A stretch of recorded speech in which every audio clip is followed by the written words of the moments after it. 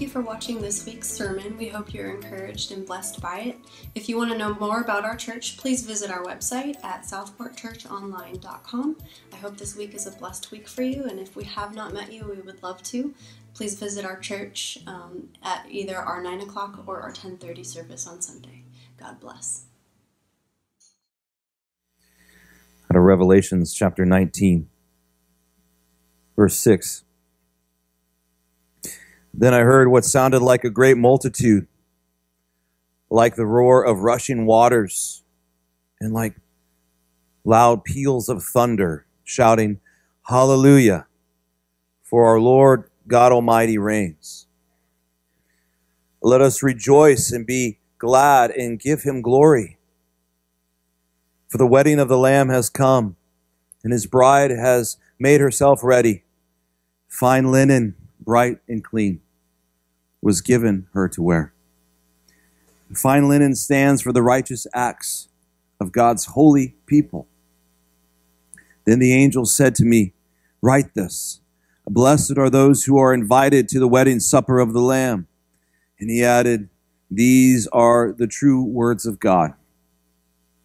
And at this I fell at his feet to worship him. But he said to me, Don't do that.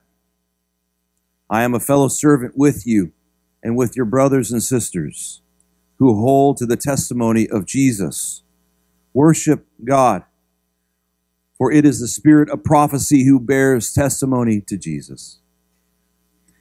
And I saw standing open, and there before me was a white horse, whose rider is called Faithful and True. With justice he judges and wages war. His eyes are like blazing fire, and on his head are many crowns. He has a name written on him that no one knows but he himself. And he is dressed in a robe dipped with blood, and his name is the Word of God. And the armies of heaven were following him, riding on white horses and dressed in fine linen white and clean. Coming out of his mouth is a sharp sword with which to strike down the nations, and he will rule them with an iron scepter. He will tread the winepress of the fury of the wrath of God Almighty. And on his robe and on his thigh he has the name written King of Kings and Lord of Lords. Let's pray. God, we thank you for this time of worship. God Almighty, we adore you and seek to glorify you this morning, this day. God, I pray over this time of reading your word and of this sermon, God, may these be words and thoughts that build up your church, that encourage the saints. God, as we continue to wrap up this sermon series, may we be encouraged. May we be invited and may we be empowered to live the life of faithful and true followers of you, Jesus. We love you, God, and we pray all this in your heavenly name. Amen. Church, I wanted to set ourselves up at the beginning this morning of, with worship and praise in the adoration of our God. For the King of Kings and the Lord of Lord reigns evermore. And I seek to ring that truth into our worlds this morning, regardless where some of us may be on the edge of something. We may be on the edge of some of us despair. Some of us may be on the edge of confusion, maybe on the edge of frustration, maybe on the edge of wrath. Some of us may be on the edge of depression and dipping down into it. Some of us may be on the edge of just being melancholy. Or some of us may be on the edge of just gloating with pride. And it seems that no matter where we are, I would say that four hallelujahs pulls us from that edge. And it brings us into a place where the act of worship to God creates in us a humbleness and an adoration of the presence of the glory of the Father. And that's where I desire for us to set our minds and our hearts and our focus this day as we complete the series on the book of Revelation. A brief survey of that book for this last month and I pray that you've been encouraged and empowered as we have looked at the dragon in the sea this month. And our scripture this morning depicts the sounds of worship like a roaring, rushing water and loud peals of thunder. Can you remember ever hearing that in your life? That is the sound of the saints in, on earth and in heaven shouting, Hallelujah. And if we only could be invited into that place of adoration more and more in our day to day lives. And we know that there are people in this world that exist with practices, spiritual practices, that help provide moments of opportunity for them.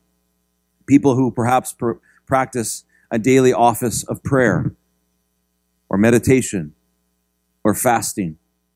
They put in their hearts and in their days disciplines to help them to practice this adoration to God each and every day. It's a great reminder and encouragement to us who probably live in, with so much busyness that we're just getting through sometimes. But I want us to be reminded this morning that we may come from different streams of how we practice this life of faith. Maybe you are someone who's more about meditation on the Word of God and seeking to be in a quiet place to meditate.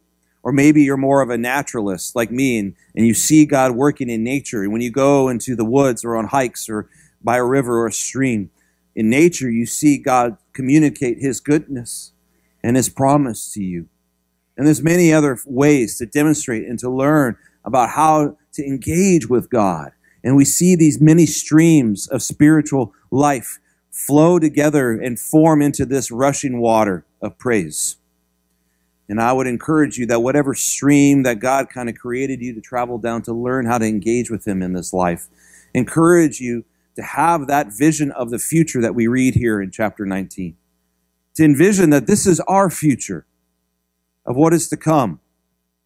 And the truth is, is that we all have been called to steward this truth in our lives, no matter where we are, no matter the circumstance. And the thing is, is because we've all been called to be leaders in our own worlds. You are a leader of the gospel because you've been entrusted by the gospel.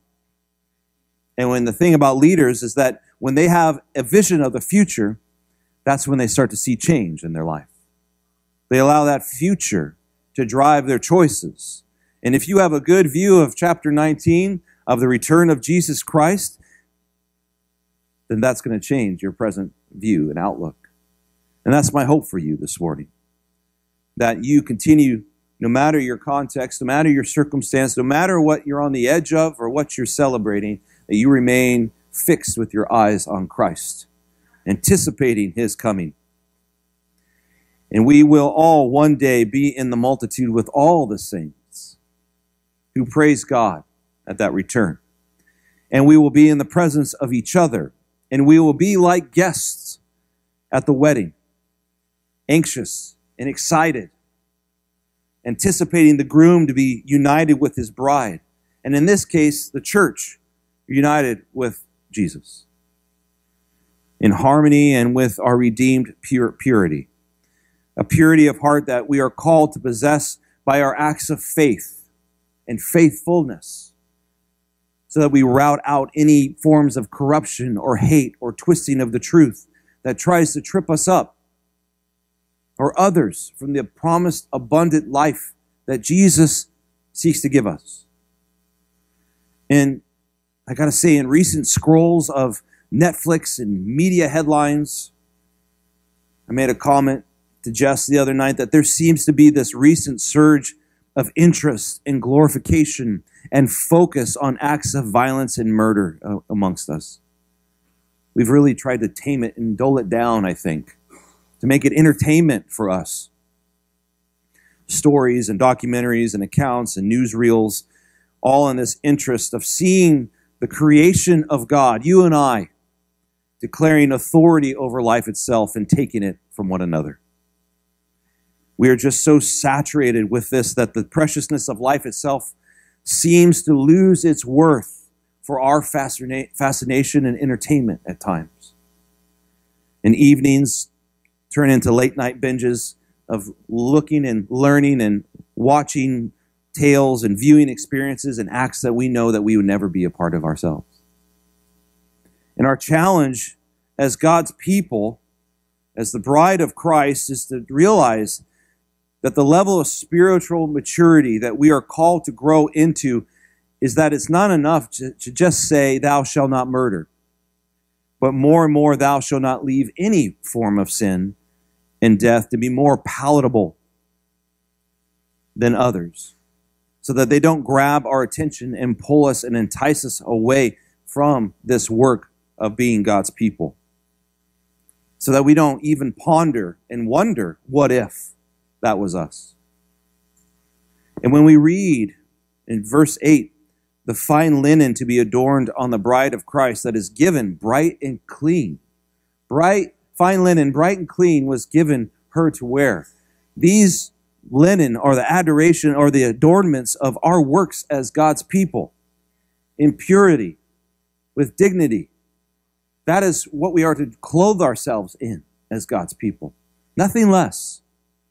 And we look at that opportunity. We must ask ourselves, where are there places in our lives that isn't filled with the anticipation for Christ to return? While we reliably keep carrying out our deeds of faith, knowing that we are called to be adorned with this integrity, with this special place, with God dwelling in us because we said yes to the Holy Spirit. And where is it, church? That we instead are soiling the opportunity on our end of the union with Christ because we aren't faithful and true. In the end, where we are faithful and responsible to be pure and to do good works because we know the value of life. We know the value of Christ giving us new life. And this, I'm not talking about perfectionism. God knows we can't accomplish the standards He set on our own. And that's where grace comes in. So that is why the church needs people like you and I to display our understanding of the precious gift of salvation and the precious gift of grace that we've received from God, that we've received from others who have forgiven us, who love us, who tend to our helps and our needs and, and steward us further to grow in Christ likeness. Because the thing is, is that we're then called to distribute it and give it to others instead of guilt trips of religious perfection that so many are turning themselves away from. I can't I can't complete that, so I'm out. And I wonder we read here if you look if you survey on your smart tablet or your Bible or whatever you have in front of you if you look at chapter 19 you can look back and you can see the hallelujahs, right? In the different sections of that chapter. Hallelujah, hallelujah, hallelujah, hallelujah. And I said this is Bob's sermon this morning. And this act of praising hallelujah isn't saved for holidays or moments of near death experiences. It's for everyday life. And I was thinking about that when I have said, Hallelujah, thank you, Jesus. It reminded me of a time I was trying to leave Mexico. That's always a good way to start a story, right? Where is he going? but it was a mission trip, and I was leading a bunch of high school students. We built a couple houses on a, a, a week that just rained, period, constantly. And I drove a 24 passenger bus, and we were in Tijuana, about to get into the border crossing line, and suddenly someone goes, Where's Timmy? Timmy? Timmy? Where's Timmy? So we had vans behind us, and I pulled off to the side. We got to find where Timmy is. Okay. And I was going to get out, and I got out of the passenger bus, and as I stood out, I looked left first instead of looking that way, and this semi with his trailer was coming right at me. And all I could do was do this so that it passed right by me. Good thing I'm a small guy, you know, so I'm a big guy. So you're very kind. You didn't laugh at that. That's very nice of you. But it was one of those moments where it was so close. If I had just kind of hung out there, I would have been taken out. But what I didn't realize until I got back into the bus, all my students saw was Micah get out of the seat and the semi come by right by them, and they didn't know where I was. And they all panicked. They all thought I got taken out. But then we found Timmy in the bus, in the van behind us. Thanks a lot, Timmy. Love ya. But that was a moment where I said, Thank you, Jesus. Hallelujah. And I wonder how often we recognize the faithfulness of Christ. What I believe was the Spirit of God that pulled my head that way to look, to go, whoa. And I wonder how many experiences you have had where you, you know it was the Spirit of God being faithful to you to preserve your life, your well being. And so we have to recognize Christ's faithfulness and how often we see his true acts for us. We proclaim them. And if we really consider it, if we really got down to the nitty gritty, we could so much to give God adoration for every breath. Because that is a precious gift of his faithfulness to us. Every breath is a gift. Every breath is an opportunity to say to him back, Hallelujah. Hallelujah. Thank you. And what you need to know today is that these verses detail to us that one day Jesus will be recognized by the whole world as the one called faithful and true, the Son of God. The whole world.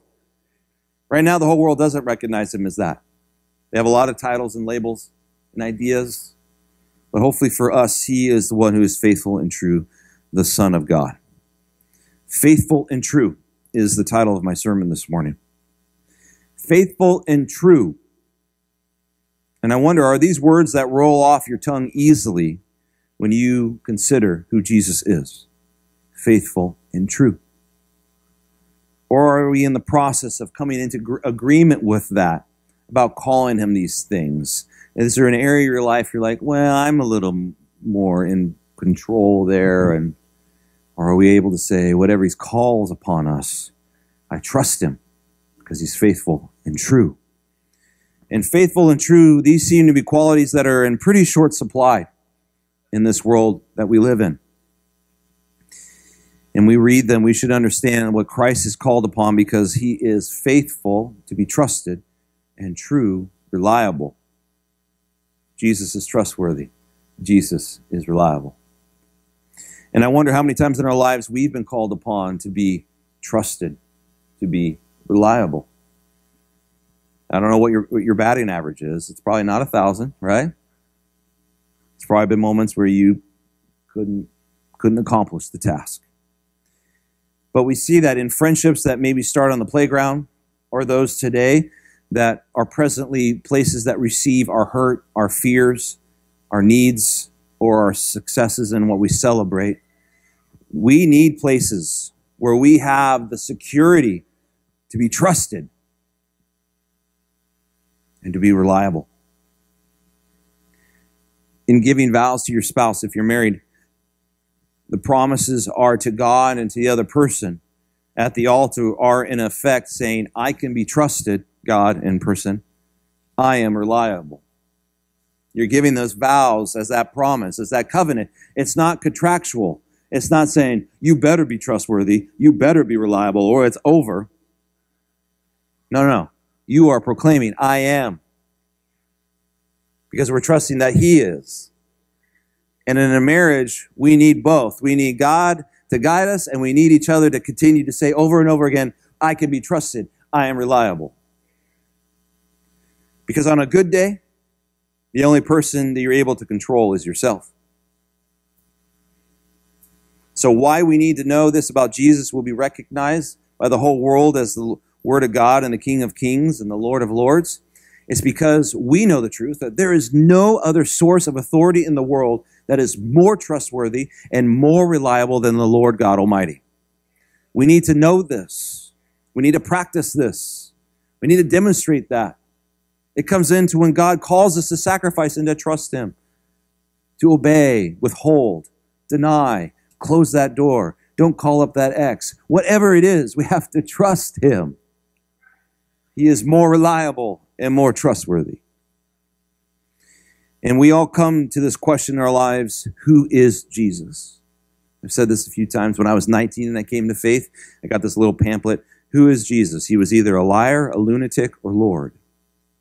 And we will know how we answer that question by where we end up standing when verse 19 comes to reality. First, we either will be in anticipation as a bride before our union and redemption with our Lord, or we will know that as he executes his righteous judgment, of the earth, whether we deny the invitation to the wedding.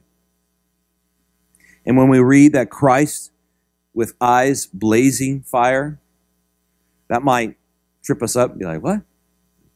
But what this is symbolizing is that we read that as Christ comes in, he comes in with perfect knowledge of the whole earth. He comes in with perfect knowledge because he knows all and sees all. Christ is able to pe- penetrate through all our pretenses. And I don't know what pretenses you put out there in your life, what fronts you have, what guards you keep, what narratives you ride. Jesus sees through all of it. He knows you. He loves you. And He wants His love to penetrate your heart so deeply that nothing else is more reliable and true than Him. And so we see, and He sees, the places where we have traveled to distant lands in search of our own kingdoms or maybe our own pride and rebellion. And He sees today where we're taking the opportunity to declare Him in our lives that He is to be trusted and we rely on His Lordship. When was the last time you had to rely on the Lordship of Christ in your life? It's a good question to ask because sometimes it helps you to go, maybe I've been too independent. Maybe I haven't stopped and go, I have a puppy at the home right now. You, if you come to the picnic, you get to meet my puppy. Hey, there's more incentive there, okay? But my puppy right now, I put him on my back. He goes, Yep, your master, right? And sometimes we have to get on our backs to go, Jesus, I need your help. And sometimes we act too independent and get ourselves in, in trouble. And so we recognize that Jesus rides in from heaven.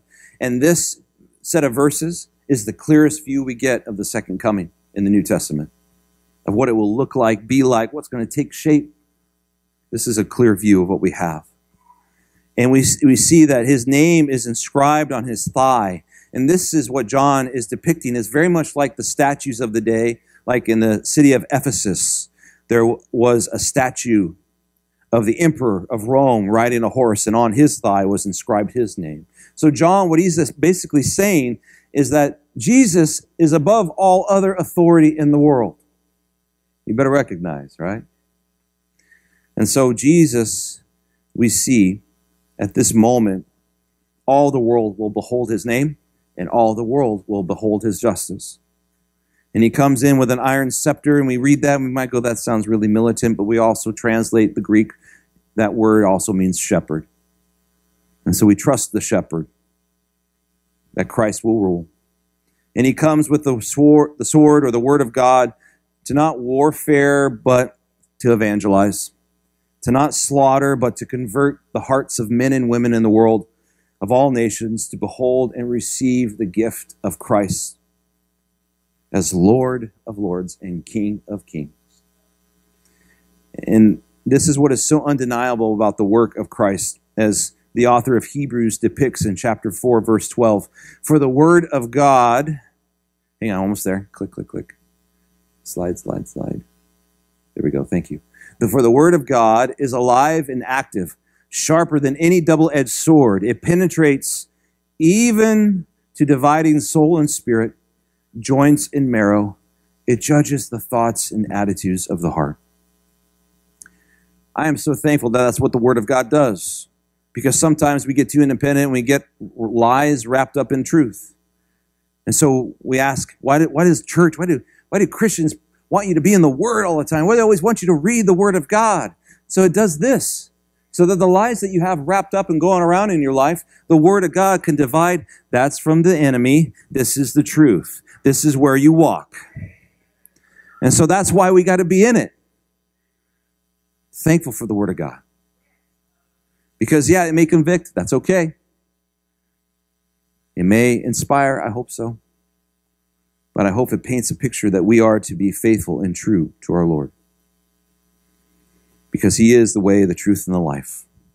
And He is faithful to come into your life over and over again and is reliable to separate the lies of the enemy and help you to see maybe where you're walking out of joint to help heal and bind and nurture and foster new growth and new life.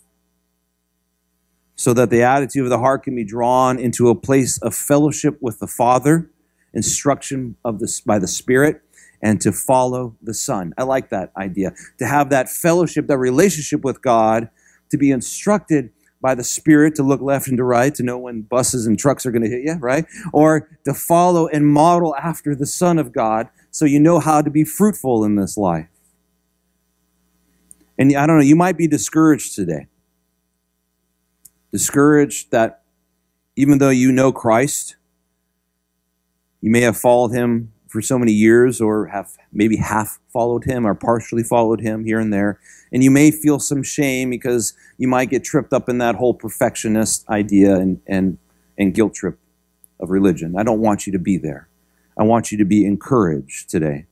And John encourages us because he didn't have to write this. He didn't have to put this part in his uh, uh, account with the angel. And you may consider the Apostle John to have some upper echelon of authority in this special place in heaven.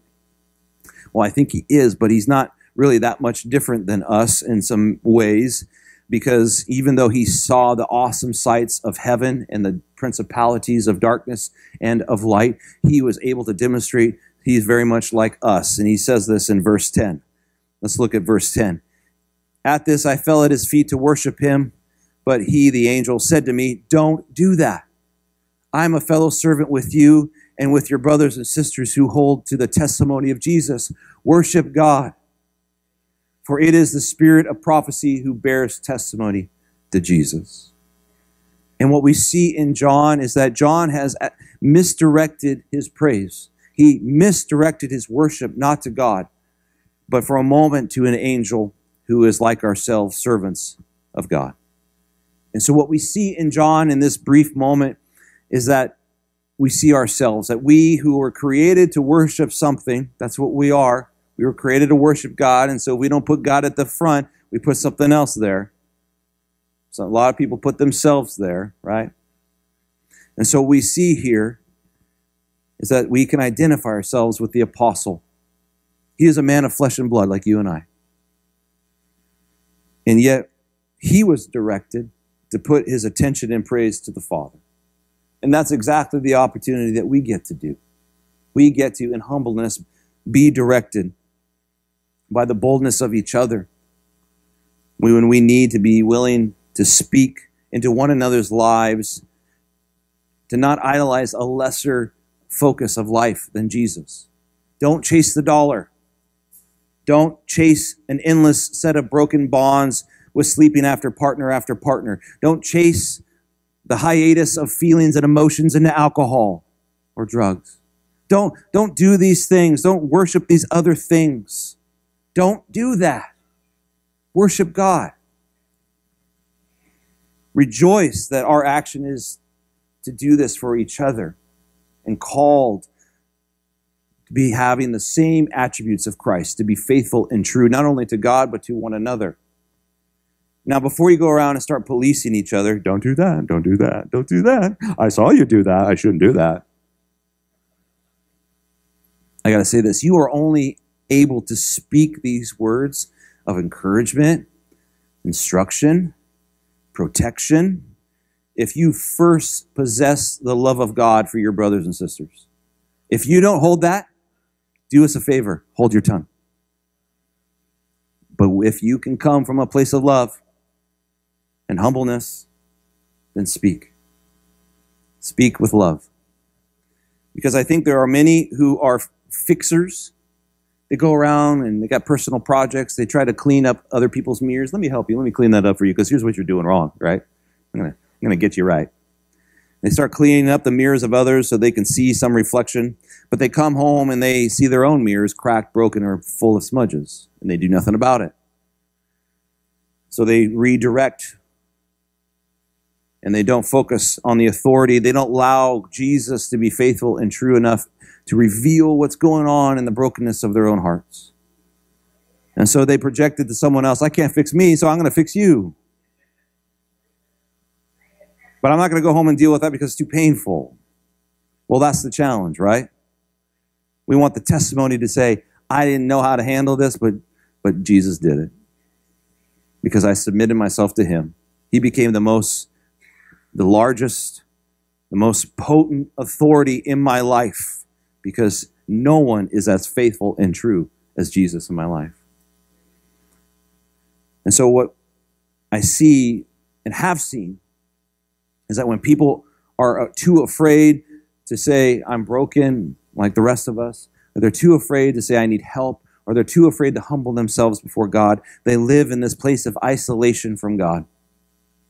And really with others, because they put up fronts, right? And we don't know them. We want to know them.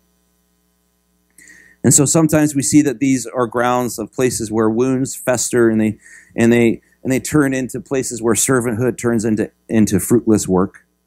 Or compassion moves from compassion to just empty empathy. Oh, I'm sorry, but I got my own problems, right? Servanthood can turn into manipulation of keeping people indebted because your acts of charity bind them, right? Well, no, I feel indebted to you. You know, no. Serve one another without condition. You don't need to be paid back, right?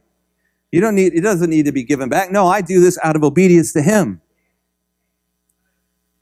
And we must always strive to hold on to t- the testimony, to rejoice of all the days before your life because we have such an opportunity to share in this victory with one another. In the anticipation of the coming of the groom, of Jesus coming back and coming now into our lives as the Spirit manifests newness and fruitfulness as we remain connected to the Father. And we read further in Revelation, we see, we anticipate not only the Christ coming, but the chaining of the dragon, of Satan and the beast, and cast it into the lake of fire. And not only that, we are so excited that we cannot wait for the new heaven and the new earth to be created. Right there we see, behold, I am making all things new, as that says. That's what words of Yahweh. We are going to see that. We want to anticipate that in our lives the redemptive work of God, restoring this good earth and bringing us to our heavenly home, where we too receive a crown, says the Bible, where we too will receive a reward, and that there is reliability of that truth here on earth. And imagine if today you were reminded of not only God's faithfulness and his true work in your life, but you are empowered to be faithful maybe again to be reliable all the more, maybe for the first time, or get back in the game, right? We don't want you sidelined. We want you in the game of faith. We want, what would it look like in your world? In your relationships, in your marriages, in, with your kids, with your grandkids? What if today you decided that you will be known as that faithful follower of Jesus that is faithful and true to others? Do you want to be known for that? You want to be identified with the gospel message, no matter the circumstance, no matter what you're on the edge of. And if you're on the edge, again, I encourage you, if you're on the edge of something, you got to start praising God because He's going to pull you back to the center. He's going to pull you back from the edge. And we see that over and over again. And so, what if we decided today that you're going to continue to build that testimony that you know Jesus is faithful and true? What will it do to this place? What will it do to your street? What will it do to West Sacramento? What will it do to the churches and the partners that we have around the world? What will it do if we continue to demonstrate that we are faithful and true back to God and to one another? That's the church I want to be. That's who I want to be amongst. And I pray you do too in this new chapter on the 16th, where we become a combined service here, that's the hope that we are faithful and true to the gospel first, and in that to one another, in that to evangelism, to discipleship, to build up our young, our youth, our adults grow, our college students feel at home, and we continue to serve the community that we have been placed in. We are strategically placed because God set us up. So don't let don't get let's not get set up for the enemy. Let's get set up for God's purposes, right? May we be a church that is faithful and true. So what do we got to do? We got to know how to pray. And that's what our next series is going to be about. Starting next week, we're going to look at the book of Psalms. The prayer of Psalms are all about orientation, disorientation, and reorientation. I don't know. You're probably in one of those phases in life right now. You feel orientated. Hey, everything's fine. Maybe you feel disorientated. What is happening? Or then you're like, God, reestablish me. Where you're in reorientation. So I invite you for the next six weeks to learn how to pray through the, through the book of Psalms. And that's my hope. Because I don't know, do you have any challenges communicating with God? I do sometimes, right? Let's, let's learn how to speak. Let's learn how to pray. And let's be confident that God hears us as we remain faithful and true to God. I'm going to invite the worship team back up as we close our service this morning. I invite you to join us for the, the church picnic. Go grab some food. Let's go have some fellowship. Let's be out in this beautiful day together. Let's get to know each other more. You can pet my puppy, okay? It's a great little little husky dog, okay? Poor thing. It's going to huskies with summer. But let's pray this morning as we go out this morning. Jesus, we thank you for this day. God, we thank you for the testimony of John, for what you showed him, God. He showed that you, Jesus, will return victorious, that you speak the truth of the Word of God, the Word that gives life, that gives power, that redeems us, that restores us, that pulls us from the edge of any despair, any fear. God, may we be pulled into that place of harmony with you and harmony with each other. God, may we continue to find ourselves faithful and true to you in some area of our lives that maybe has been out of step. And God, may we not live in shame because shame does not come from you, God. May we seek to be faithful and true to your redemptive work in our hearts and in this place. God, we thank you for your goodness. And we anticipate, God, and you coming back. And may that motivate us to go share the good news. May we share those who are lost and in despair, who have no hope, who have no hallelujahs to pull them back to joy. May use us, God. Empower us Maybe it's within our own home. Maybe it's on our street. Maybe it's in our workplace. Maybe it's that random opportunity. May we be ready to be faithful and true to you, to share the good news and the love of the gospel. We love you, God. And as we close out, we declare that you are our living hope, Jesus. Hallelujah to you, God Almighty. In your name we pray. Amen.